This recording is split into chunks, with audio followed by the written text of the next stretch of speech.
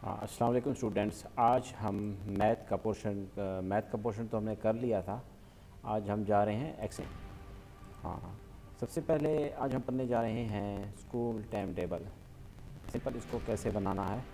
जैसा कि आप इसके अंदर दे सकते हैं कि ये हमारे कॉलम हैं और इनको हम रो कहते हैं। देख रहे हैं, ये यहाँ पर बॉक्सेस बने हुए हैं बहुत सारे तो इनके अंदर हम लिख सकते हैं। जैसा कि यहाँ सबसे पहले आपने लिखा हुआ स्कूल टाइम टेबल तो यहाँ पर देखें तो यहाँ पर जगह बहुत छोटी है लेकिन स्कूल टाइम टेबल में लिखा हुआ है बड़ी जगह में। तो इसके लिए हमें क्या करना होगा? इसके लिए सबसे पहले हमें यहाँ एक एरिया इस तरह सेलेक्ट करना है माउस के साथ एक ही क्लिक के ऊपर। जो क्लिक करके सेलेक्ट करना है। सेलेक्ट करने के बाद यहाँ मर्ज एंड सेंटर करना है। आ, कुछ ऑफ़िस में ये यहाँ पर ऑप्शन नहीं होता तो सिर्फ़ ये वाला ऑप्शन होता है तो आपने वहाँ से ये वाला क्लिक करना है। तो मर्ज एंड सेंटर पे क्लिक करेंगे। जो ही मर्ज एंड सेंटर पे आपने क्लिक किया है देख रहे हैं इसके अंदर रोज़ जो कॉलम वो सब गायब हो गए। अब इसके अंदर एंटर करके, अब इसके अंदर आप कुछ भी लिख सकते हैं। जैसा कि मैं लिख रहा हूँ। ओके, यहाँ एक दफ़ा फिर बाहर क्लिक करना है। बाहर क्लिक करने के बाद फिर यहाँ क्लिक करना है। तो इसी तरह इस कैपिटल ए या यहाँ से आप इसका साइज़ बड़ा कर सकते हैं। ओके। और इसके बाद डे पीरियड लिखा हुआ है। सपोज़ करें डे पीरियड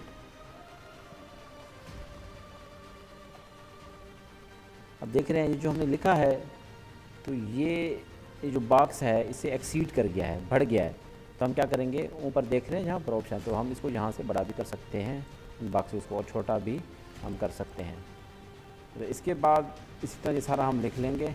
सारा लिखने के बाद फिर हमने इस एरिए को सिलेक्ट करना है। इस एरिए को सेलेक्ट करने के बाद फिर हमने कहाँ आना है? यहाँ पर। सबसे पहले इसको मैं बॉर्डर कर देता हूँ। सबसे पहले ये ऐसा होगा। हाँ इस पर पेज बॉर्डर लगाने के लिए हम क्या करेंगे? सबको सिलेक्ट करके तो हमने आल बार्डर्स पे क्लिक करना है। आल बार्डर क्लिक करके तो ऐसा होगा। और ये जो छोटे छोटे बॉक्सेस हैं, ये प्रिंट में नहीं आते ओके ये क्या है? प्रिंट में नहीं आते। अगर हम इसका प्रिंट रिव्यू देना चाहें तो हम इसका देख सकते हैं। देख रहे हैं प्रिंट रिव्यू बाकी जो जो भी बॉक्सेस है वो नहीं है। सिर्फ़ वो है जो हमने जिन बॉक्सेस को फिल किया और जिन पर हमने बॉर्डर लगाया। हाँ सिर्फ़ वो प्रिंट बाकी प्रिंट में नहीं आ रहा है। आप देख रहे हैं ओके ये सिंपल था फ़र्स्ट इसी तरह अब हम सेकंड में जा रहे हाँ। सेकंड जो है, वो हमारा है बाटा डिस्काउंट ऑफ़र हाँ सबसे पहले इसी तरह आपने एरिया सेलेक्ट करना है, इसके बाद मर्जन सेंटर कर देना है और उसके इसके अंदर लिखना है। तो इसी के बाद इसी तरह जी आपने लिखना है, अगर छोटा बड़ा करना होगा, अगर ये छोटा है तो इसको आदमी बड़ा कर सकते हैं ऊपर से। हाँ तो यहाँ अब हम फार्मूला लगाने जा रहे हैं। एक फार्मूला तो यहाँ पर लगेगा और यहाँ पर भी फार्मूला लगेगा और यहाँ पर भी हम फार्मूला लगाने जा रहे हैं। सबसे पहले आपने इसको इस तरह बना लेना है हाँ। यहाँ पर फार्मूला लगेगा हमारा, यहाँ पर लगेगा फार्मूला और यहाँ पर फार्मूला लगेगा। बाटा डिस्काउंट ऑफ़र सपोज़ करें, आपने कुछ चीज़ें परचेज़ की हैं शूज़ हैं सॉक्स है शर्ट्स हैं, वगैरह वगैरह। जब आप कोई भी चीज़ परचेज़ करते हैं तो सपोज़ करें हम सॉक्स ले लेते हैं जराबें फ़ोर फिफ्टी का एक सेट है तो हमने कितने सेट लिए हैं? तीन सेट लिए हैं तो मतलब है कि फ़ोर फिफ्टी मल्टीप्लाई थ्री होगा।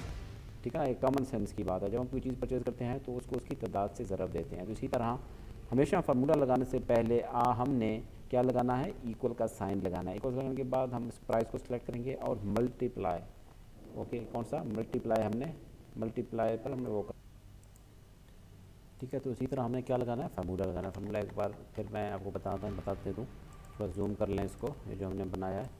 हाँ इसको थोड़ा जूम कर लेते हैं। ओके हाँ तो सबसे पहले मैंने कहा, क्या लगाएँगे हम? इक्वल लगाएँगे। अब जितनी चीज़ें हमने परचेज़ की हैं, हमेशा उसको उसकी क्वांटिटी या तादाद से मल्टीप्लाई करते हैं। सबसे पहले हमने ये सिलेक्ट किया, इसके बाद मल्टीप्लाई हाँ कीबोर्ड कीबोर्ड पे आप जब जाएँगे तो दूसरे साइड पे जिधर नंबर्स लिखे हुए हैं तो वहाँ सबसे ऊपर स्टार का साइन होगा। स्टार का मतलब मल्टीप्लाई होता है। तो इसको वन से मल्टीप्लाई दोनों को मल्टीप्लाई कर दिया और इसको इंटर कर दिया। इंटर करने के बाद इसको हम यहाँ खींचेंगे।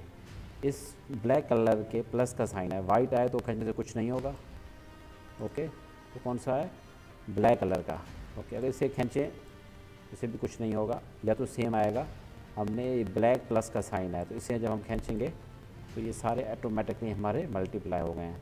इसके बाद डिस्काउंट रेट 25 परसेंट दिया हुआ है। अब परसेंट में तो दिया हुआ है, लेकिन अब हमने करेंसी में निकाला है कि डिस्काउंट 25 परसेंट जो दिया जा रहा है, वो करेंसी में कितना बनता है? आया कि 100 बनता है, आया कि 300 बनता है, कितना बनता है? परसेंटेज में तो है। अब करेंसी में निकालने के लिए हम सिंपल इक्वल लिखेंगे। हाँ सब टोटल सेलेक्ट करेंगे। तो इसको हम मल्टीप्लाई करेंगे किसके साथ? 25 परसेंट के साथ जब मल्टीप्लाई करेंगे सब टोटल को तो 25 परसेंट की यहाँ पर वैल्यू आ जाएगी हमारे पास। ऑटोमेटिकली देख रहे हैं 25 परसेंट की वैल्यू इतनी बनती है। इसी तरह इसको भी हम खींच लेंगे। अब टोटल निकालना है। अब सब टोटल इतना बनना था, आप देख रहे हैं, और डिस्काउंट कितना दिया है? सात सौ उनचास। तो मतलब है इसको इसमें से हमें मैनेज करना पड़ेगा। ये सात सौ उनचास रुपये का डिस्काउंट दिया गया।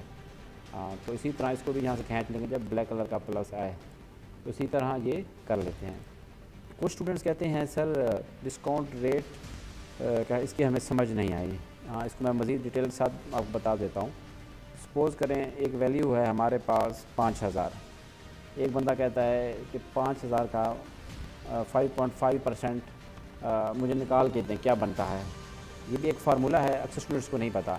आप हाँ अगर फाइव थाउज़ेंड का फाइव पॉइंट फाइव परसेंट हम वैल्यू निकालना चाहते हैं तो सिंपल हाँ इसको ज़रब देंगे किसके साथ? इसके साथ ज़रब देंगे फाइव पॉइंट फाइव परसेंट के साथ। टू सेवेंटी फाइव आ गया।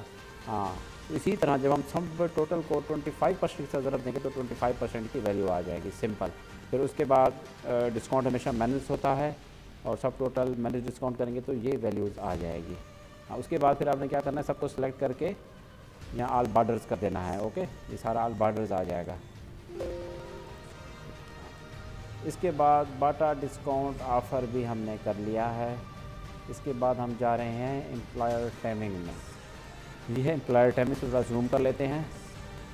हाँ उसी तरह मंडे अगर मंडे को अगर हम यूँ खींच लें, देख रहे हैं मंडे को सिंपल खींच लें तो सारे आ जाते हैं, लिखने की ज़रूरत नहीं पड़ती। अगर हमने सब में मंडे लगाने हैं तो फिर कंट्रोल प्लस करके आपने इसको खींचना है तो सब में मंडे आ जाएगा। बगैर कंट्रोल के खींचेंगे तो वो तकलीफ़ के साथ आएँगे। मंडे ट्यूजडे वेनसडे अगर जनवरी फरवरी मार्च तो सब इस तरह का आ सकता है ओके हाँ इसको सेलेक्ट करके जहाँ डिलीट का बटन दबा दें। और इसी तरह ये इन, सबसे पहले हम ये समझते हैं कि एम्प्लॉयर टाइमिंग क्या चीज़ है। एम्प्लॉयर टाइमिंग ये चीज़ है कि जो मुलाजमत करते हैं किसी कंपनी में मतलब इन टाइम का मतलब ये है कि वो इतने बजे आए और आउट टाइम का मतलब ये है कि वो इतने बजे गए। हाँ तो वर्किंग टाइम कितना बनता मतलब कितने घंटे उन्होंने काम किया? तो हाँ तो सबसे पहले एट ए एम ये कैसे लिखेंगे सबसे पहले यहाँ आपने जस्ट सिर्फ़ एट लिखना है स्पेस दे के एम लिखना है एट स्पेस फिर आपने इसको एंटर करना है। देखना खुद ब खुद इस तरह का ही बन जाएगा। आपको फिर बता दूँ मैं एट लिख के स्पेस ए एम बस फिर एंटर करेंगे तो खुद ब खुद इस तरह का हो जाएगा। ये सारे इस तरह आप लिख सकते हैं। तो फिर जहाँ हमने क्या लगाया हुआ है? फार्मूला लगाया हुआ है। फार्मूला क्या है? मैं आपको बता देता हूँ इक्वल फार्मूला ये है कि out time minus in time तो उसको इंटर कर देंगे तो ये सारे हमारे पास आ जाएँगे। ठीक है ना? इसने नौ घंटे काम किया, क्योंकि आठ बजे आया और पाँच बजे गया। इसने सिर्फ़ पाँच घंटे काम की क्यों? क्योंकि आठ बजे आया और एक बजे गया। तीसरा लंच टाइम है एक घंटे का, और लंच टाइम आपको पता है उस वक्त बंदा कोई काम नहीं करता मतलब लंच टाइम टाइमिंग जो है वो मैनेज होगा। और ये ओवर टाइम है, इस बंदे ने एक घंटे या ज़्यादा काम किया इसने दो, इसने तीन वगैरह। ओवर टाइम हमेशा जमा होगा टाइमिंग में। इसी तरह अब जहाँ हम टोटल वर्किंग टाइम में हम एक फार्मूला लगा रहे हैं। फार्मूला क्या है? बहुत सिंपल है। सबसे पहले हम वर्क टाइम जो हमने निकाला था वो, इसके बाद lunch time minus lunch time lunch time minus होता है उस वक्त कोई काम नहीं करता बंदा ब्रेक होती है। इसके बाद यहाँ हमने क्या लगाना है? फिर प्लस हाँ प्लस लगा के बाद ओवर टाइम को हमने सेलेक्ट किया। तो इसको इंटर करेंगे। उसी तरह ये भी हमारे सारे आ जाएँगे। अच्छा बनाने के बाद हमने इस पूरे एरिया को सेलेक्ट करके आल बार्डर कर देना है। ओके आल बार्डर कर दिया। इसकी भी आप लोगों को समझ आ रही है। इसके बाद हम नेक्स्ट जाते हैं। एम्प्लॉय टाइमिंग हो गया है। नेक्स्ट हम जाते हैं स्कूल एक्सपेंस की तरफ़। स्कूल एक्सपेंस भी है हमारे पास। स्कूल रिज़ल्ट शीट भी है। और स्कूल एक्सपेंस इसको थोड़ा जूम कर लें। हाँ सबसे पहले हमने टीचर नेम लिखने हैं, चाहे जो भी हैं। इसके बाद ये हमने सैलरी मेंशन करनी है। टीचर कितनी सैलरी है? इसके बाद जितना पे किया गया इनको। जितनी सैलरी इतना पे किया गया था तो इनकी रिमेनिंग क्या हो गई? ज़ीरो हाँ।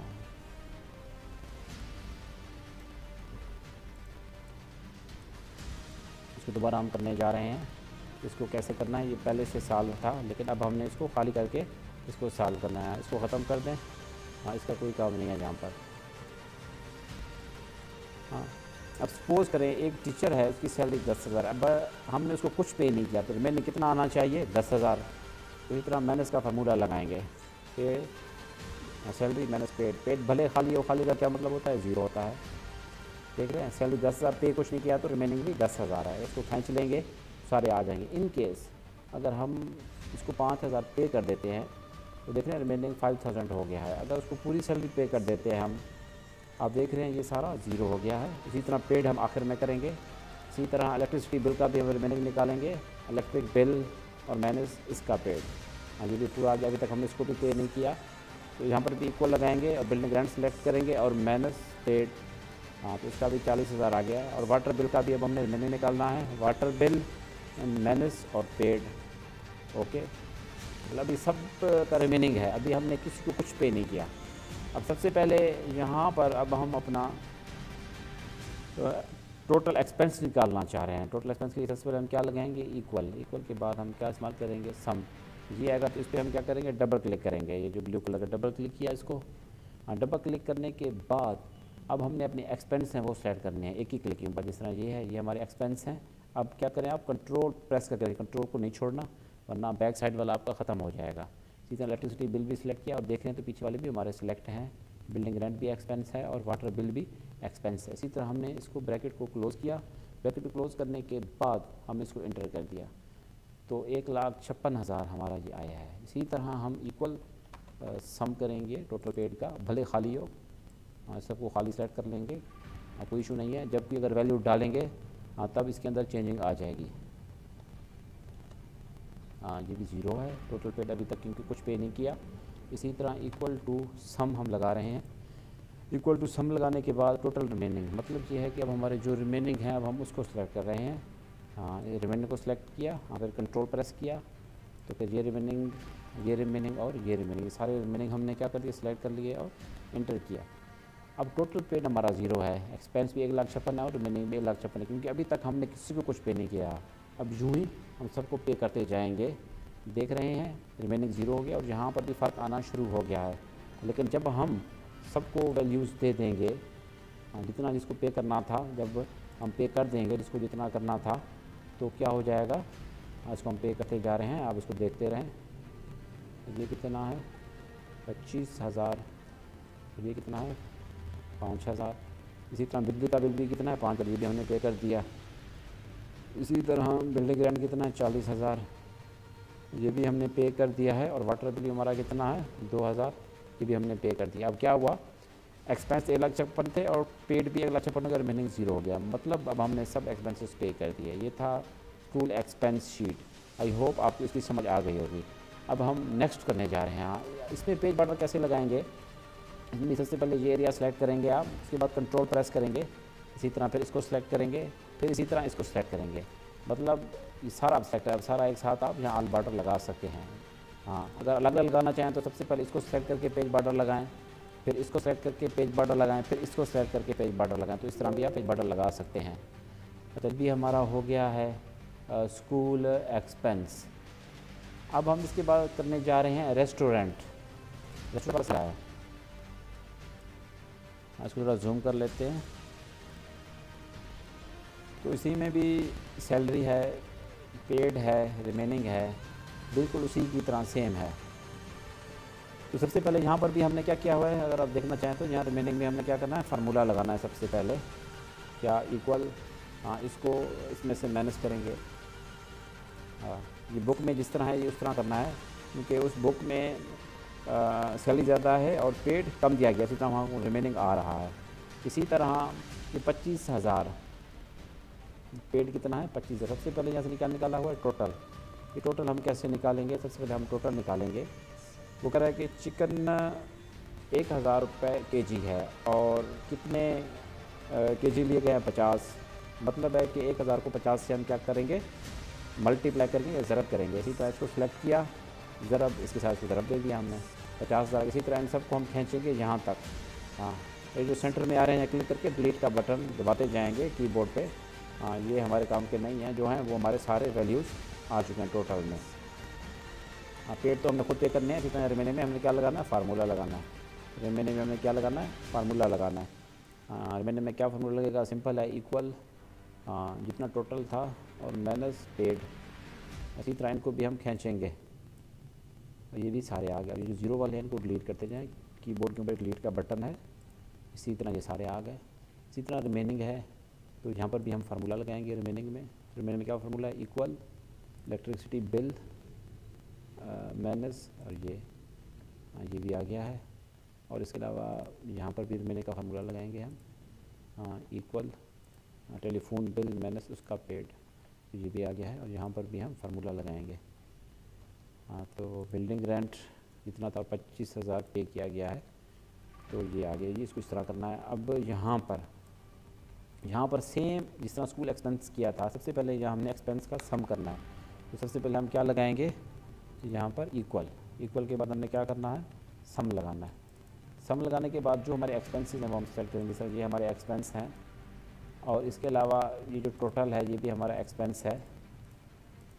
जो खर्चा किया है हमने। इसके अलावा बिजली का बिल भी हमारा एक्सपेंस है टेलीफोन का बिल भी एक्सपेंस है और बिल्डिंग रेंट भी हमारा एक्सपेंस है। हाँ तो ब्रैकेट क्लोज शिफ्ट से अब इंटर करें। ठीक है जी, आ गया टोटल एक्सपेंस इसी तरह अब हम सम करेंगे अपने तमाम पेड्स का। जितने भी पेड्स हैं, हम उन तमाम का हम क्या करेंगे? सम करेंगे। पेड का इसको सिलेक्ट किया। क्या करने के बाद फिर क्या करना है? कंट्रोल प्रेस करना है। और उसके अलावा कौन से पेड हैं? ये पेड हैं हमारे पास। और इसके अलावा ये पेड है इलेक्ट्रिसिटी बिल का टेलीफोन बिल का पेड है और बिल्डिंग रेंट का भी पेड है। इन सबको सेलेक्ट किया ब्रैकेट क्लोज इंटर इसी तरह टोटल पेड भी हमारे पास आ गया। इसी तरह रिमेनिंग का भी हमने सम करना है। हाँ रिमेनिंग में कौन कौन से हैं? ये रिमेनिंग है, इसका भी हमने सम कर दिया। इसके बाद ये रिमेनिंग है, इनका भी हमने सम कर दिया। इसके बाद ये रिमेनिंग है, इसका भी सम इसका भी सम और इसका भी सम और इसी तरह ब्रैकेट क्लोज और इंटर करेंगे। अब नाइन्टी थाउज़ेंड रिमेनिंग है, जो कि अभी हमने इनका देना है। अच्छा रिमेनिंग एक और तरीके से भी हम निकाल सकते हैं। सिंपल इक्वल लगा यहाँ पर। टोटल एक्सपेंस को सिलेक्ट करके माइनस पेड कर दें। तो यहाँ से भी आप निकाल सकते हैं। ओके ये रेस्टोरेंट का है। आई होप दैट कि आपको रेस्टोरेंट वाला भी समझ में आ गया है। अब रेस्टोरेंट वाला भी हमने कर लिया है। अच्छा इसके बाद अब हम करने जा रहे हैं school result school result sheet वाला हम करने जा रहे हैं। सबसे पहले इसी तरह आपने इसको बना लेना है। ये सब्जेक्ट्स के मार्क्स हैं, वो सब हमने मेंशन करने हैं। तो सबसे पहले यहाँ हमने फार्मूला लगाना है, अब टेन मार्क्स में फार्मूला लगाना है। और 700 टोटल मार्क्स है, ये भी हमें, ये भी हमें गिवन है। तो टेन मार्क्स का फार्मूला सिंपल है इक्वल लगा के तमाम सब्जेक्ट के नंबर्स को जमा करेंगे तो ये आएगा। कौन से सब्जेक्ट हैं ये तमाम यहाँ से यहाँ तक? इन सबको जमा किया, फिर ब्रैकेट क्लोज फिर इन इसी तरह फिर इसको यहाँ से साइड से खींच लेंगे। ये ब्लैक कलर का प्लस है। ये आ गया। इसी तरह परसेंटेज का फॉर्मूला लगाना है सिंपल परसेंटेज का क्या फार्मूला होता है? सबसे पहले अब टेन मार्क्स सेलेक्ट करेंगे। मल्टीप्लाई हंड्रेड मल्टीप्लाई हंड्रेड और इसके अलावा डिवाइड बाय टोटल मार्क्स ये परसेंटेज आ गई सिंपल इसी तरह इसको खींच लेंगे। और इसमें जो सबसे मुश्किल फार्मूला है, वो है इसका ग्रेड मैं आपको बता देता हूँ ग्रेड का फार्मूला। ये है एक पूरा ग्रेड का फार्मूला। ग्रेड का फार्मूला कैसे लगाना है तो हम इसको अब करते हैं। ग्रेड का फार्मूला, मैं यहाँ आपको लगा के दिखाने की कोशिश करता हूँ। ग्रेड फार्मूला यहाँ पर लगाने की मैं कोशिश करता हूँ आपको। ठीक है, अब हम ग्रेड का फार्मूला करने जा रहे हैं। ग्रेड का फार्मूला सबसे पहले इस फार्मूले को आप देख लें जो हमने यहाँ लगाया हुआ ग्रेड का फार्मूला तो इसको हम कैसे लगाएँगे ग्रेड के फार्मूलाज को? तो अब हम ये डिस्कस करने जा रहे हैं। सबसे पहले आपने क्या लगाना है? इक्वल के बाद इफ़ लगाना है। इक्वल के बाद क्या लगाना है? इफ़ लगाना है। और बल्कि इसको हम स्टार्ट करते हैं खुद ही। सबसे पहले आपने क्या करना है? इक्वल हाँ, लगाना है। देखिए मैंने इसको जो है ना। ओके, यहाँ अब हम फार्मूला लगाने जा रहे हैं, ओके? ग्रेड का सबसे पहले हमने क्या लगाना है? इक्वल इक्वल के बाद हमें क्या लगाना है? इफ़ इस पर डबल क्लिक करना है। इसके बाद हमने क्या सिलेक्ट करना है? परसेंट सेलेक्ट करना है। परसेंट के बाद हमने यहाँ साइन लगाना है ग्रेटर देन का, ओके? ग्रेटर देन का साइन लगाना है। और इसके बाद हमने क्या लिखना है? सपोज़ करें हम लिख लेते हैं कि 80 एक वैल्यू डाल देते हैं। एटी वैल्यूज़ हमने डाल दिए फिर हमने क्या लगाना है? एक कॉमा लगाना है। फिर शिफ्ट से डबल कॉमा लगाना है और यहाँ पर हम इसको मेंशन कर देते हैं ए ग्रेड इसी तरह डबल कॉमा डबल कॉमा के बाद फिर सिंगल कॉमा लगाएँगे। ओके अब सिंगल कॉमा लगाने के बाद अब क्या हुआ कि अगर 80 परसेंट से वैल्यू ऊपर हो तो हमारे पास क्या आएगा? ए ग्रेड आएगा। अगर वैल्यू 80 परसेंट से ऊपर है तो ए ग्रेड आएगा।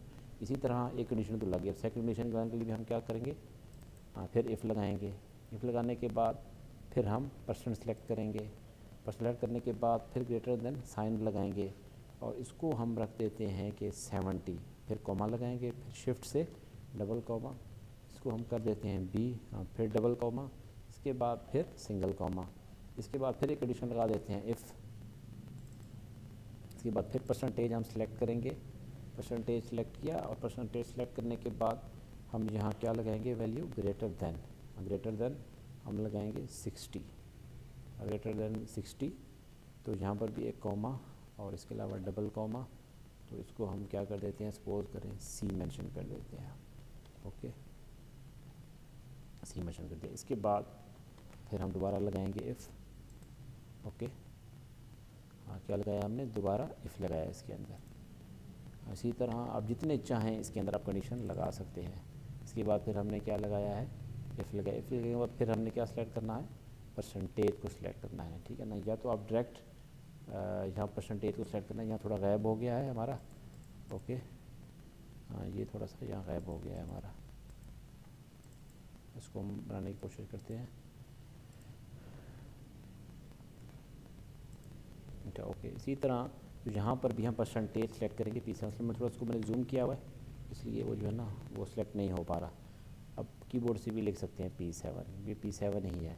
अच्छा इसके बाद ग्रेटर देन सिक्सटी था तो फिर हम लगाएँगे ग्रेटर देन हाँ इसके बाद अब हम लिखेंगे फिफ्टी हाँ क्या लिखेंगे हमने? फिफ्टी लिख दिया। अपनी मर्ज़ी से भी आप कंडीशन बना सकते हैं। फिर कॉमा लगाया, फिर डबल कॉमा तो इसके बाद सी है। सी के बाद हम डालना चाह रहे हैं डी ग्रेड ओके फिर डबल कॉमा फिर सिंगल कॉमा ओके इसके बाद फिर हम आखिरी कंडीशन लगा रहे हैं इफ़ इसके बाद फिर परसेंटेज है। परसेंटेज को हम क्या कर रहे हैं? पी सेवन मैंशन कर रहे हैं। और इसको हम ग्रेटर की बजाय हम लेस देन कर देंगे। लेस देन तो 50 हम कह रहे हैं कि 50 परसेंट से बिन स्टूडेंट्स के मार्क्स कम हैं। वहाँ फिर कोमा लगाएँगे, फिर डबल कोमा कि वो फेल हैं। हमने फेल की कंडीशन लगा दी है। हाँ जिसके, जिस स्टूडेंट्स के भी मार्क्स से कम होंगे तो वो स्टूडेंट्स क्या है? फेल है। इसके बाद आपने क्या करना है? ब्रैकेट्स लगानी है। जितनी कंडीशंस हैं? उतनी ब्रैकेट्स लगानी है आपने। तो लास्ट में ब्लैक हो जाए तो ऐसे समझें कि आपके ब्रैकेट्स कंप्लीट हो चुके हैं। ओके तो इसके बाद आप क्या करने जा रहे हैं? एंटर करने जा रहे हैं। देख रहे हैं एंटर किया तो बी ग्रेड आ गया। बी ग्रेड क्यों आया? तो हमने कहा कि अगर सेवेंटी से ऊपर हो तो बी आएगा एट्टी परसेंट से पहले तक। तो इसलिए ऐसा हुआ है। बाकी को भी हम देख लेते हैं खींच के। ओके हाँ ये ये क्या आ गया? सी हाँ सिक्सटी से ऊपर हो तो हमने कहा वो सी आएगा। और सेवेंटी से पहले था। इसी तरह कंडीशन आप अपनी मर्ज़ी से भी लगा सकते हैं। इस तरह ग्रेड का भी आप बना सकते हैं। अब ग्रेड वाला भी हो गया है हमारा। स्कूल रिज़ल्ट शीट का भी कर लिया है स्कूल एक्सपेंस का भी हो गया है। अब हम जो करने जा रहे हैं, एक गारमेंट्स फैक्ट्री ये अब हम गारमेंट्स फैक्ट्री वाला करने जा रहे हैं। गारमेंट्स वाला सिंपल है। बेसिक सैलरी आपने डालनी है इसके अंदर। इसके बाद डेयर नेस अलाउंस ये हाउस रेंट्स को जूम कर लें। ओके ये जूम हो गया है। अच्छा इसके बाद बेसिक सैलरीज आपने ये पुट कर देना है इन बॉक्सेस के अंदर और क्लियर अलाउंस और ये पहले भी बताया मैंने कि अगर बॉक्स की जगह छोटी हो तो आप इसको यहाँ से करके बड़ा कर सकते हैं ओके जितनी हेडिंग है उसके मुताबिक। इसी तरह हाउस रेंट भी डालेंगे मेडिकल अलाउंस भी डालेंगे टोटल भी डालेंगे और ग्रास सैलरी अब यहाँ पर जो फार्मूला है वो सिंपल ग्रास सैलरी में लगेगा ओके आपकी सैलरी पचपन सा है और उसके अलावा डेयरनेस अलाउंस ये हमेशा सैलरी में जमा होता है आपको पता होना चाहिए। अगर आप गवर्नमेंट एम्प्लॉय हैं तो वहाँ हाउस रेंट भी आपको मिलता रहता है मतलब पाँच सौ हाउस रेंट मिल रहा है, वो भी आपके पे में जमा होंगे। मेडिकल अलाउंस जो भी आपको मिलता है तो वो भी हमेशा आपके अकाउंट में जमा होता है। और टोटल डिडक्शन का मतलब ये है कि एक टैक्स है या एक कटौती है तो ये सिर्फ़ माइनस होगा, बाकी सारी वैल्यूज़ आपके अकाउंट में जमा होंगी। तो इसके दो मेथड्स हैं, सबसे पहले एक सिंपल मेथड से करते हैं तो जिसको हम देसी तरीका कहते हैं, उसके बाद फिर प्रोफेशनल वे में इसको करते हैं। सबसे पहले इक्वल लगाया बेसिक सैलरी लिखा हमने तो हमने जमा लगाया, इसको सेलेक्ट किया। ये भी हमारा हाउस रेंट भी जमा है और जमा मेडिकल अलाउंस इसके बाद फिर हमने minus minus total deduction okay total detection से हमने इसको क्या कर दिया? मैनेज कर दिया। तो इसी तरह तो इसकी वैल्यूज़ आ जाएगी। तो इसी तरह क्या आ जाएगी? इसकी वैल्यूज़ आ जाएगी। हाँ ये असल में ज़्यादा जूम है, ये वैल्यूज़ गुम हो जाती हैं। इसको दोबारा करने की कोशिश करते हाँ। ये ज़्यादा जूम है इस वजह से। वैल्यू पे क्लिक नहीं होगा। नहीं कर सकते फिर हम इक्वल लगाया सिंपल हमने ये सिलेक्ट किया था। हाँ जमा इसको सिलेक्ट किया है। हाँ जमा इसको सिलेक्ट किया है। इसके बाद फिर जमा इसको सिलेक्ट किया है। ओके और इसके बाद हम्म, ये फिर वैसे हो गया है। इसको दोबारा करते हैं। हाँ इसको ऐसे करते हैं वैल्यूज़ को। ताकि इसको हम इजीली कर सकें जगह बड़ी बना लें। वरना ये चीज़ें इसकी गुम हो जाती हैं। इक्वल लगाया सबसे पहले हमने बेसिक सेलेक्ट किया फिर प्लस फिर अलाउंस फिर आ, हमारा हाउस रेंट और फिर मेडिकल अलाउंस ओके फिर मैनेस अब मैनेस टोटल डिटेक्शन आपने करना है ओके इसको इंटर करेंगे तो ये मैथड से होगा तो इसको आप खींच लेंगे ओके जूम करने की वजह से ये नहीं आ रहा था उस वक्त। क्योंकि जो फार्मूला लिख रहे थे वो ऊपर आ रहा था ओके वैसे इसका कोई मसला नहीं आता। अच्छा ये तो सिंपल फार्मूला था। अगर हम इसको प्रोफेशनल फार्मूले से करना चाहें तो फार्मूला क्या है? सबसे पहले इक्वल लगाएँगे, उसके बाद एस यू एम सम करेंगे। तो इसमें क्या होगा कि एक ही क्लिक के ऊपर हम चार वैल्यूज़ को हमने सेलेक्ट कर लिया और उसके बाद उसको ब्रैकेट क्लोज और मैनेज टोटल रिडक्शन कर लिया। ठीक है ना? कोशिश करें ये प्रोफेशनल वाला फार्मूला इस्तेमाल करें। इसमें एक्यूरेसी ज़्यादा है और ये जल्दी हो जाता है। ओके गारमेंट्स फैक्ट्री का भी हो चुका है। अच्छा अब हमने गारमेंट फैक्ट्री भी कर लिया है और अब हम करने जा रहे हैं सैलरी अब हम करने जा रहे हैं सैलरी शीट हम्म, अब हम सिंपल करने जा रहे हैं सैलरी शीट तो सबसे पहले बेसिक पे हमारा इतना है बारह हज़ार बेसिक पे है। तो यहाँ पर मेडिकल अलाउंस जो है ना कितना निकालना है? यहाँ पर बारह परसेंट निकालना है। और हाउस रेंट सिक्स परसेंट और ये है फोर पॉइंट फाइव परसेंट और यहाँ पर सिंपल एक फार्मूला लगाया गया है आखिर में, इनकम टैक्स, ओके? हाँ ये जब आप बुक में इसका क्वेश्चन गिवन है तो वहाँ आप इसको इजीली समझ सकते हैं। तो मेडिकल लोन्स वहाँ बारह परसेंट है हाउस रेंट सिक्स परसेंट है और income four point five percent है। तो हम इसके मुताबिक इसको करने की अभी हम कोशिश करेंगे। अब मेडिकल लोन्स का हमने क्या निकालना है? बारह परसेंट। तो सबसे पहले इक्वल बारह हज़ार को सिलेक्ट किया तो मल्टीप्लाई आपको पहले भी बताया है कि अगर किसी भी चीज़ का कोई परसेंट निकालना तो सिंपल डायरेक्ट उसको, उसकी वैल्यू से मल्टीप्लाई कर देते हैं। बारह परसेंट के साथ इसको क्या कर दिया है? मल्टीप्लाई कर दिया है। ये बारह परसेंट की वैल्यू आ गई। तरह हाउस रेंट हमारा कितना था? सिक्स परसेंट था। इसी तरह बेसिक पे के सिक्स परसेंट से इसको मल्टीप्लाई करेंगे, क्योंकि ये क्वेश्चन में गिवन है। ओके इसको भी किया। बीच में इनकम टैक्स था फोर पॉइंट फाइव परसेंट निकालना है बेसिक पे का। तो इसी तरह बेसिक पे को हम मल्टीप्लाई करेंगे फोर पॉइंट फाइव परसेंट के साथ। तो इसी तरह ये भी हमारा आ गया। अब हमने नेट पे निकालना है। नेट पे में हमें फार्मूला गिवन है। सिंपल है बेसिक पे सेलेक्ट करेंगे, फिर प्लस मेडिकल अलाउंस फिर प्लस हाउस रेंट अब आखिर वाला जो है ना, वो हो जाएगा माइनस इनकम टैक्स वाला। माइनस हो जाएगा इधर इसको खींचेंगे। इसी तरह ये भी हमारा हो जाएगा। ये भी सिंपल है, इतना मुश्किल नहीं है। ये लास्ट टाइम ये एजुकेशन डिपार्टमेंट के जो टेस्ट हुए थे, उसमें ये क्वेश्चन आया हुआ था। एग्जैक्ट सेम टू सेम अच्छा इसके बाद अब हम करने जा रहे हैं पिवट टेबल सबसे पहले आपने ये सारे नेम लिख लेने हैं। डिपार्टमेंट लिखना है सेल 2016 एंड सेल 2017 तो इन दोनों को सिंपल प्लस कर देना है। ये सेल ये सेल यहाँ मेंशन है ऊपर सेल 2017 और 16 को आपस में जमा कर देंगे आप। इसको और इसको आपस में जमा कर देंगे। तो ये सिंपल ये सारा आ जाएगा। ये तो बहुत सिंपल है। ओके अच्छा इसके बाद ये भी हमने कर लिया। और अब हम आ रहे हैं आ, बैंक पासबुक अब बैंक पासबुक में सबसे पहले आप ये करें कि ये लिख लें ये लिख लें ये लिख लें और डेबिट भी आपने ख़ुद लिखना है और क्रेडिट भी आपने ख़ुद लिखना है। ये वैल्यू सारी आपने ख़ुद लिखनी है। और जहाँ पर एक और वैल्यू होगी इंटरेस्ट रेट टेन परसेंट वो आपने नहीं लिखना वरना यहाँ फार्मूलाज में इशू आता है। फार्मूलाज का जो आंसर है वो गलत आएगा ओके बस आपने सिर्फ़ यहाँ वैल्यू लिख देनी है पच्चीस एंड पैंतीस सौ और उसके अलावा डेबिट का बैलेंस और इसके अलावा क्रेडिट का बैलेंस यहाँ लिख देना। इसमें क्या फार्मूला लगेगा? मैं भी आपको बता देता हूँ। फार्मूला यहाँ बैलेंस लगेगा। सबसे पहले यहाँ लिखा हुआ है कि balance B F balance B F का मतलब ये है कि आपके अकाउंट में पहले से पैसे मौजूद हैं। सपोज़ करें ये आपका अपना एक बैंक अकाउंट है और पहले से जो बैलेंस मौजूद है आपके अकाउंट में कितना है? पैंसठ हज़ार सात सौ बाईस। ये वो बैलेंस है जो पहले से आपके अकाउंट में मौजूद है। बैलेंस पी का मतलब ये है।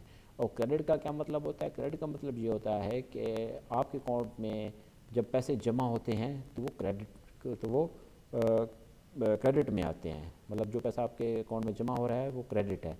और जो पैसा आपके अकाउंट से निकाला जा रहा है, चाहे एटीएम से निकाल रहे हैं, चाहे किसी दूसरे के अकाउंट में शेयर कर रहे हैं तो दोनों सूरतों में आपके अकाउंट से पैसे जा रहे हैं तो वो डेबिट में आता है। तो यहाँ पर एक फार्मूला है। तो सबसे पहले हमने इक्वल लगाया। सबसे पहले ये जो प्रीवियस बैलेंस था तो हमने इसको क्या किया सिलेक्ट किया है। सबसे पहले जूम कर लें इसको। हाँ सबसे पहले ये क्या है? ये हमारा प्रीवियस बैलेंस है। इसको हमने सेलेक्ट किया है। प्रीवियस बैलेंस को सिलेक्ट करने के बाद आपको भी बताया मैंने क्रेडिट हमेशा आपके अकाउंट में पैसे जमा होते हैं। जमा क्रेडिट ओके जमा क्रेडिट सेलेक्ट किया क्रेडिट क्या मतलब होता है? आपके अकाउंट में पैसे जमा हो रहे हैं और यहाँ माइनस और डेबिट को सेलेक्ट करेंगे भले खाली हो। खाली मतलब क्या होता है? ज़ीरो होता है, पहले ही बताया है। अब देख रहे हैं, ये आ गया है। अब हमने फार्मूला यहाँ लगाया है। अब हमने सिर्फ़ इसको खींचना है। तो सारे आ जाएँगे। ऊपर वाले को नहीं खींचना ऊपर वाले को अगर हम खींचेंगे तो देख लें सारा गलत हो जाएगा। ओके क्या हो जाएगा? सारा गलत हो जाएगा। क्योंकि फार्मूला यहाँ लगाया है तो सेकेंड वाले को ही खींचेंगे। इसी तरह अब आपके अकाउंट में जो भी पैसे होंगे, वहीं आ जाएँगे रिकॉर्ड के मुताबिक। ओके तो खुद ब खुद डेबिट क्रेडिट कर देगा प्रीवियस बैलेंस के साथ खुद ब खुद उसको एडजस्ट कर देगा। अच्छा बैंक पास बुक स्टेटमेंट भी आपका हो चुका है। अब इसके बाद हम देखते हैं, ये भी हो गया है स्कूल रेंट शीट भी हो गया है सैलरी हो गया स्टूडेंट भी हो टेबल भी हो गया है। मंथली लोन और इंस्टॉलमेंट हाँ कुछ रह गए हैं।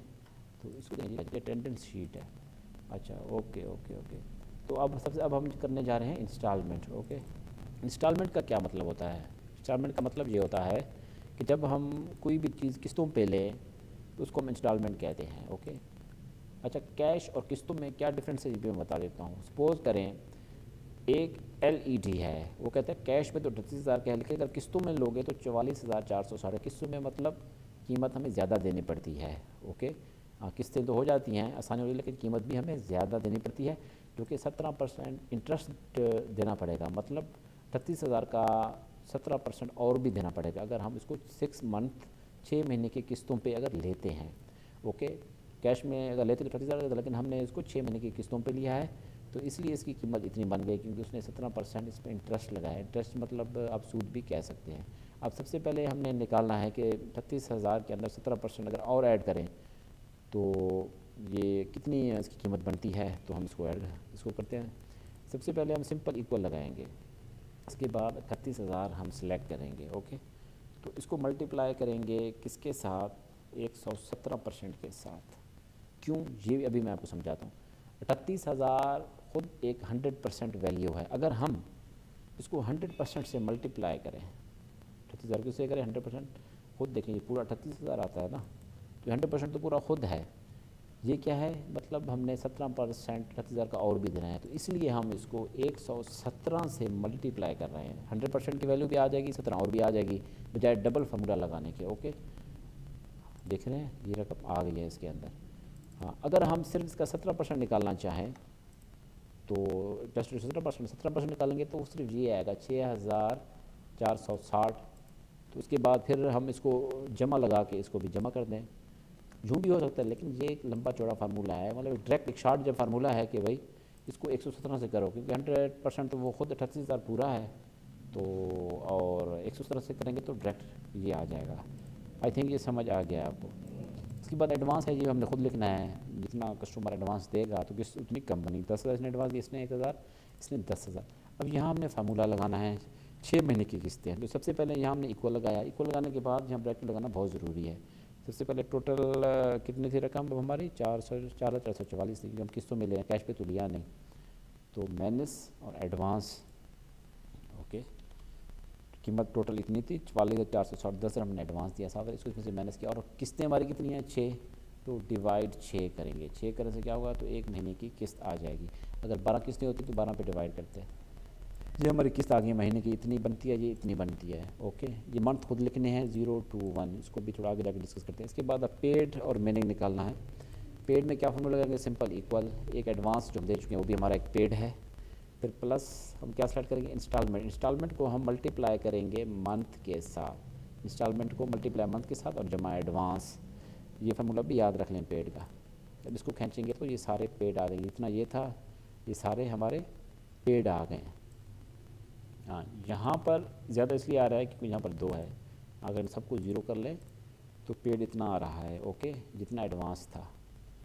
अब हम रिमेनिंग में फार्मूला लगाते हैं। रिमेनिंग का फार्मूला इक्वल सबसे पहले हमें इतने का मिला था? टोटल ये टोटल वाले चार सौ साठ क्योंकि उसमें कैश में तो लिया नहीं था, इस तरह कैश की कीमत को हम नहीं छेड़ेंगे। तो माइनस और पेड तो इसको इंटर किया। इसको इंटर करने के बाद इसको इंटर किया। इसको इंटर करने के बाद तो हम इसको यूँ खींच लेंगे, ओके? देखना ये आ गए हैं रिमेनिंग इतना रिमेनिंग कितना अब सपोज़ करें, अब हमने मंथ यहाँ पर क्या करने हैं? इसके अंदर डालने हैं, ओके? यहाँ पर अब हमने मंथ इसके अंदर डालने हैं, ठीक है ना? मंथ अब हमने इसके क्या करना है?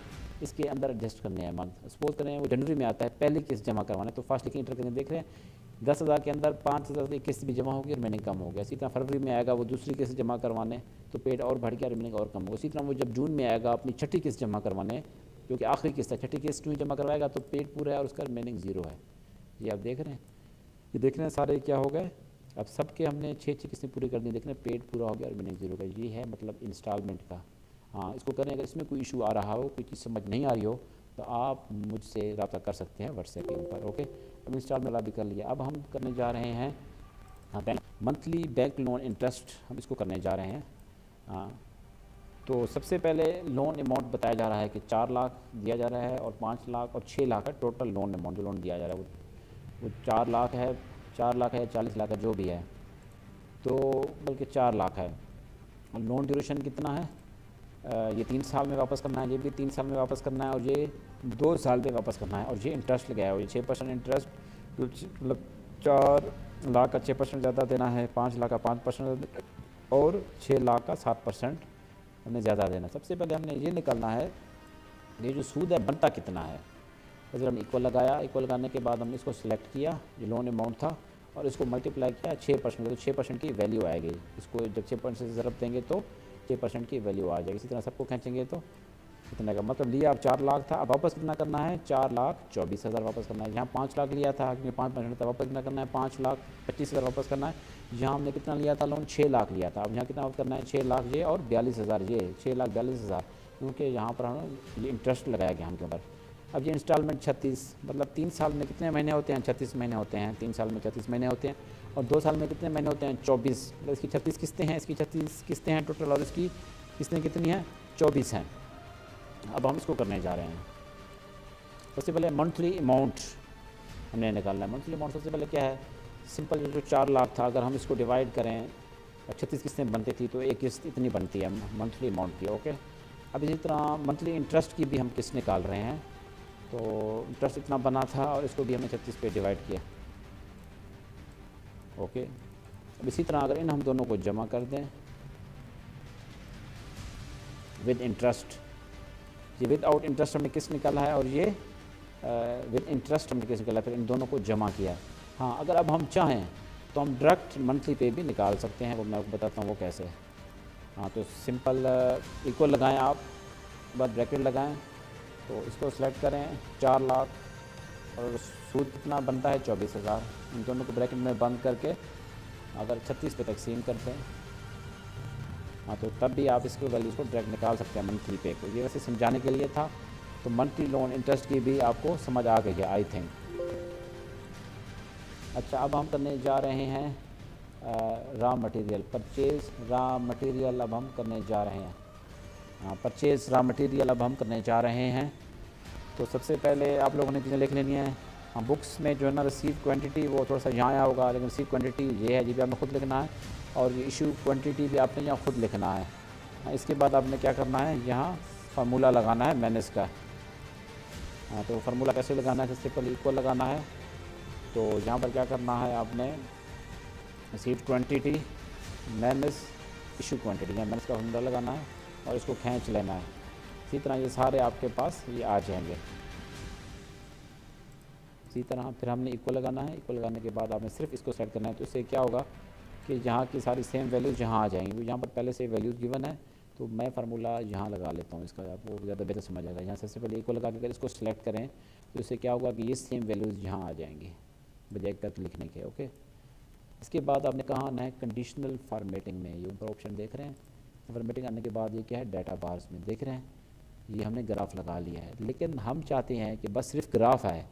ये वैल्यूज़ नहीं आया जैसे हमने पाँच पाँच, दस, पंद्रह, की वो ऑलरेडी यहाँ आ चुकी हैं वैल्यूज़ तो वैल्यूज़ को ख़त्म करने के लिए डाटा बार्स में आए तो हम किसमें आएँगे? मोर रूल्स में। मोर रूल्स में आए तो हम ये क्या लिखा हुआ है? शो बार ओनली तो हमने यहाँ क्लिक किया show bar only show bar only पे क्लिक किया तो अब हम मर्ज़ी है। अब हम जो कलर यहाँ इसको देना चाहें। सपोज़ करें हमने ये कलर दिया इसको ओके कर दिया। ये सिर्फ़ ग्राफ बन गया है ओके ये ग्राफ इसी तरह ये बन जाएगा। ये है परचेज नंबर ये भी सिंपल है। अब हम जो करने जा रहे हैं हमारे अब अटेंडेंस शीट सैलरी और डेयरी फार्म ये दो रह गए हैं और बाकी हमने सारे कर लिए हैं। सबसे पहले हम शीट हाँ ये शीट बहुत बड़ी है, इतनी बड़ी भी नहीं है। सपोज़ इतने जहाँ से हमने इसको शुरू किया, ये सारे अपने वैल्यूज़ देने हैं। ये अटेंडेंस शीट विद सैलरी है। ये यहाँ से शुरू हो रहा है फ़र्स्ट डे से। फ़र्स्ट को क्या है? संडे है। और टू डेट को ऊपर क्या है? ये मंडे लिखा हुआ है। यहाँ पर क्या लिखा हुआ है? मंडे के बाद यहाँ क्या लिखा हुआ है? ट्यूसडे वेनसडे थर्सडे इसी तरह ये एक लेके आपने सबको खींच लेना है, खुद ब खुद देख रहे हैं। सपोज़ करें ये खुद ब खुद आएँगे। हाँ सपोज़ करें मैं इनको ख़त्म कर देता हूँ यहाँ तक। इसी तरह संडे को लेके आपने क्या करना है? सिंपल इसको यहाँ नीचे से खींच लेना है। जहाँ तक ले जाएँगे, खुद ब खुद ये आते जाएँगे। अगर आपने संडे को सिलेक्ट करना है, आप चाहते हैं कि सारे सेम हैं, इसको खैर इसको डिफरेंट आते हैं, देख रहे हैं। हाँ सेम आए, आप चाहते हैं इस पर तो कंट्रोल प्रेस करके रखें, फिर इसको खींचें तो ये सारे सेम आ जाएँगे। इसी तरह प्रेजेंट को भी लिखना चाहते हैं, इसको खींचें, सारे प्रेजेंट आ जाएँगे, इसी तरह इसको खाली खींचें तो सारे एबसेंट आ जाएँगे। इसी तरह ये सारा आपने लिखना है। ओके, ये सारा आपने क्या करना है? लिखना है। लिखने के बाद total days thirty one thirty thirty यहाँ पर लिख लेना है। अब हमने इस पोर्शन को करना है। ये जो पोर्शन है हमारा, इस सबको हमने क्या करना है? इसको करना है। ओके। ये भी गिवन होगा पर डे सैलरी ये अपनी मर्ज़ी से लिखेंगे। इससे पहले हमने क्या निकालना है? प्रेजेंट डे निकालना है। प्रेजेंट डे के लिए हम क्या लगाएँगे इक्वल का फार्मूला इक्वल के बाद हम क्या करेंगे? सी ओ जो एन टी काउंट इफ़ का इस्तेमाल करेंगे। क्या इस्तेमाल करेंगे? काउंट इफ़ हाँ काउंट इफ़ कहाँ से शुरू है? थर्टी वन से ये है प्रेजेंट अब टोटल डेज़ थर्टी वन को सिलेक्ट नहीं करना, जो प्रेजेंट जहाँ से शुरू है तो इसको हम ले जाएँगे वन डेट तक। वन डेट तक संडे तक। वन डेट से भी शुरू हुआ है और थर्टी वन तक आ गया है और इसको सिलेक्ट नहीं करना। इसके बाद हमने क्या लगाना है? कॉमा। कॉमा लगाया। कॉमा लगाने के बाद इस रो में कोई प्रेजेंट सेलेक्ट करें। इस रो में। इस रो में कोई नीचे वाला भी सिलेक्ट नहीं कर सकते, सिर्फ़ इस रो में सेलेक्ट कर सकते हैं, जहाँ प्रेजेंट है। और एबसेंट वाला सिलेक्ट नहीं करना। सपोज़ करें यहाँ प्रेजेंट है, इसको सिलेक्ट इसको भी सेलेक्ट कर सकते थे, इसको भी इसी रो में। तो इसी तरह हम इसको ब्रैकेट क्लोज और एंटर करेंगे। हाँ इसको खींचेंगे तो सारे हमारे पास प्रेजेंट आ गए इसी तरह एबसेंट का फार्मूला भी सेम है। उसमें थोड़ा सा डिफरेंस है तो उसको भी अब हम करते हैं फार्मूले को। तो यहाँ पर भी हमें क्या लगाना है? काउंट एफ़ काउंट एफ़ लगाया तो यहाँ पर भी हम इकतीस से स्टार्ट करेंगे। इसको कभी छोड़ना नहीं है। या आठ पे ले आए, ये जाता रहेगा। और बहुत आगे चला जाएगा तो उसको दोबारा पीछे ले आए यहाँ तक, संडे तक। हाँ फिर वापस जाएँ। अब हम एबसेंट निकालना चाह रहे हैं टोटल एबसेंट कितने तो कॉमा और कॉमा लगाने के बाद अब इस रो में हमने कोई एबसेंट सेलेक्ट करना है। एबसेंट यहाँ पर भी है, इसको हम सेलेक्ट नहीं करेंगे। और एबसेंट वो सेलेक्ट करना जहाँ सबसे ज़्यादा एबसेंट हों। अब हम देखते हैं सबसे ज़्यादा एबसेंट कहाँ है? यहाँ पर है। देख रहे हैं, इस रो में सबसे ज़्यादा एबसेंट हैं, ये सारे एबसेंट हैं तो उसको सेलेक्ट करना है। वरना आंसर सही नहीं आएगा। इस तरह ब्रैकेट क्लोज और इंटर किया हमने। ओके इसी तरह इसको खींच लेंगे तो सारे एबसेंट भी हमारे आ गए। अब हमने क्या करना है? वर्किंग डेज़ निकालना है कि टोटल वर्किंग डेज़ कितने थे हमारे? वो सिंपल है इक्वल लगाएँगे। प्रेजेंट डे को जमा और डे सपोज़ करें, आपको कहीं महीने में 25 दिन जाना था तो 20 दिन तो आप प्रेजेंट हुए और 20 दिन आप एबसेंट हुए। तो मतलब ये हुआ, अगर दोनों को जमा करेंगे तो प्रेजेंट डे 25 हो गए तो इसी तरह इसलिए इनको जमा किया है ओके ये भी हमारे आ गए वर्किंग डेज़ ओके अच्छा ये पर डे सैलरी आपने खुद लिखना है। जिसको जितना देना पाँच सौ, किसकी सैलरी है, किसकी चार सौ किसकी दो सौ वगैरह वगैरह। सबसे पहले हम क्या करेंगे? टोटल सैलरी हम निकालना चाह रहे हैं। टोटल सैलरी क्या क्या मतलब है? पर डे सैलरी को अगर हम मल्टीप्लाई करें वर्किंग डेज़ के साथ पर डे सैलरी को मल्टीप्लाई करें वर्किंग डेज़ के साथ तो टोटल सैलरी आ जाएगी हमारी। इन हैंड सैलरी का क्या मतलब है? इन हैंड सैलरी का मतलब ये है कि अभी बताता हूँ पर डे सैलरी को सिलेक्ट किया और मल्टीप्लाई किया आपने प्रेजेंट डे के साथ। जितने दिन काम किया छः दिन तो आप एबसेंट रहे। इसी तरह आपके प्रेजेंट डे को अगर हम ज़रब करें पर डे सैलरी के साथ इन हैंड सैलरी आपको इतनी मिलेगी। आपकी टोटल तो इतनी थी, लेकिन आपने छः छुट्टियाँ की, इक्कीस दिन काम किया। अगर छः छुट्टियाँ ना करते तो आपको पूरे इक्कीस हज़ार छः सौ मिलते इसलिए आपने छः छुट्टियाँ की हैं और इसीलिए आपको सोलह हज़ार आठ सौ रुपये सैलरी मिली है। ओके, इसकी भी समझ आ गई है। अगर इसमें भी इशू है तो आप व्हाट्सएप पर रब्ता कर सकते हैं। अब इसके बाद एंड में एक और रह गया है। Dairy farm. इसके लिए आप कह सकते हैं, जो दूध वगैरह के बहाने होते हैं, दूध वगैरह बेचते हैं तो ये उनका है। सबसे पहले सिंपल हमें यहाँ लिखना है शिफ्ट मॉर्निंग दिया शिफ्ट वन प्लस वन का मतलब ये है कि एक शिफ्ट मॉर्निंग में है, एक इवनिंग में है। टू प्लस टू का मतलब ये है कि दो भैंसें आपके मॉर्निंग में हैं, दो भैंसें इवनिंग में हैं। तीन चार का मतलब ये है कि तीन मॉर्निंग में भैंसें थी, चार इवनिंग में थी। ठीक है ना? जो भी है शिफ्ट शेड्यूल है आपका। और ये जो है ना, आपका क्या है? प्राइस पर लीटर ये क्या है आपका? प्राइस प्राइस पर लीटर ये प्राइस है पर लीटर ये हमारा क्या है? ये हमारा है प्राइस पर लीटर ये हमारा है प्राइस पर लीटर ये प्राइस पर अच्छा ये हम करने जा रहे थे तो ये क्या है? ये है प्राइस पर लीटर पर लीटर का मतलब क्या है? अस्सी रुपये लीटर है, ये साठ रुपये लीटर है, ये साठ सत्तर. और डेली लीटर मतलब डेली इन वाहनों से दो लीटर आता है डेली यहाँ सात लीटर आता है डेली पाँच डेली आठ और डेली सपोज़ करें या नौ लीटर आता है। इसी तरह ये सारे प्रेजेंट हैं। एक डेट से शुरू किया है हमने, उनतीस डेट तक, ओके? तो कहीं पर दूध नहीं भी लिया मतलब एबसेंट एबसेंट रहा एक्सेंट रहा। तो इसी तरह सबसे पहले हम यहाँ प्रेजेंट डे में फार्मूला लगाएँगे, जैसा कि आप लोगों को पहले भी बताया है। प्रेजेंट डे का क्या फार्मूला था? इक्वल काउंट एफ़ हाँ इक्वल काउंट एफ़ इसी तरह यहाँ से स्टार्ट है तो हम इसको यहाँ से सिलेक्ट करेंगे वन डेट तक। वन डेट तक हमने सेलेक्ट किया इसको। और इसका कॉमा कॉमा के बाद हम क्या सेलेक्ट करेंगे? प्रेजेंट जो प्रेजेंट निकाल रहे हैं। अगर एबसेंट निकालते हैं तो एंड में एबसेंट सेलेक्ट करते हैं। ओके एक सबको हमने सेलेक्ट किया। प्रेजेंट डे तो हमारे आ गए सताईस दिन प्रेजेंट था, ये अट्ठाईस दिन अट्ठाईस दिन के लिए पूरे तीस दिन।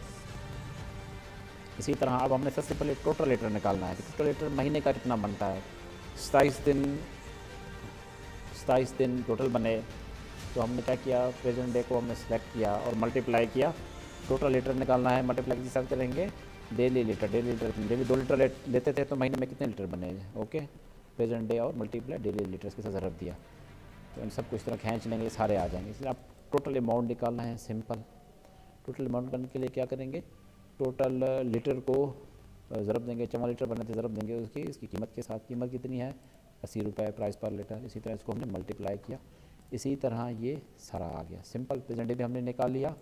और टोटल लीटर भी हमने निकाल लिया और उसके अलावा टोटल अमाउंट भी हमने सिंपल निकाल लिया। ओके इस तरह सिंपल इसी तरह इसको हम पेज बॉर्डर लगाना चाहें, जिस तरह सेलेक्ट कर लेंगे पूरे को। यहाँ सेलेक्ट किया और यहाँ पर आए और आल बार्डर्स किया, जो कि पहले भी मैंने आपको बताया। इसी तरह ये भी हमारा हो गया। और एक्सेल भी आई होप दैट हमारा कंप्लीट हो चुका है। तो इसके अलावा कोई चीज़ अगर आपको समझ नहीं आए तो आप व्हाट्सएप पर मुझसे कांटेक्ट कर सकते हैं। किसी भी हवाले से, कोई भी चीज़ समझ ना आई हो एक्सेल के हवाले से वर्ड के हवाले से, कोई सीवीज़ में कोई चीज़ समझ नहीं आई हो या मैथमेटिक्स में कोई चीज़ समझ नहीं आई हो तो आप मुझसे रब्ता कर सकते हैं। आई होप दैट ये लेक्चर जो हमने बनाया है तो आपको आई थिंक नाइन्टी परसेंट ज़रूर फ़ायदा हुआ होगा इन चीज़ों का। बहुत शुक्रिया वीडियोज़ देखने का। मैं इजाज़त चाहूँगा। अल्लाह हाफिज़।